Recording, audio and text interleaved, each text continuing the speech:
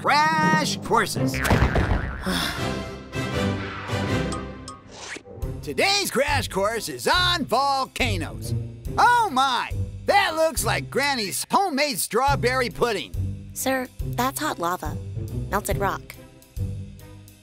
Are you even listening to yourself? Rocks don't melt. They do if it's hot enough, sir.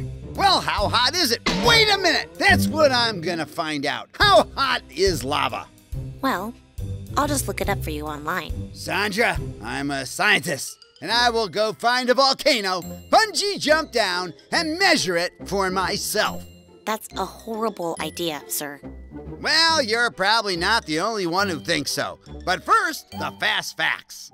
Fact number one The term the Ring of Fire refers to an area around the Pacific Ocean where there are active volcanoes and lots of earthquakes. Number two The Ring of Fire is home to some of the most famous volcanoes on Earth, including Mount St. Helens, Mount Fuji, and Krakatoa.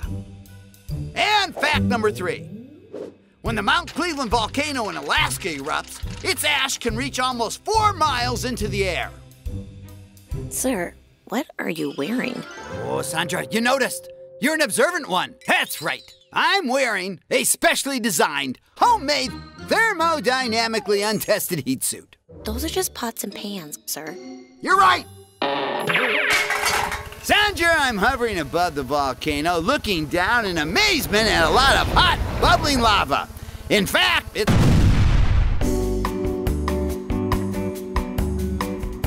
Well, I think that went pretty well. That went horribly, sir.